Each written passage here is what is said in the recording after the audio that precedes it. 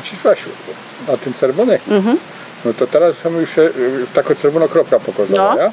No to teraz ty mnie widać i słychać, rozumiesz, jak pija piwo w górach izerskich. To mogę pozdrowić wszystkich, co mnie oglądają, że z gór izerskich. Ludzie, przyjeżdżajcie, bo się werci. Nawet jak nie ma najlepszej pogody, tak są najlepsze ludzie i bardzo dobre piwo.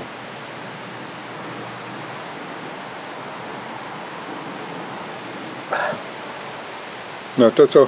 O, widzisz, moja żona będzie kamerzysta. Net. Dobra, przycisz jeszcze raz na ten czerwony knefel się wyłączy.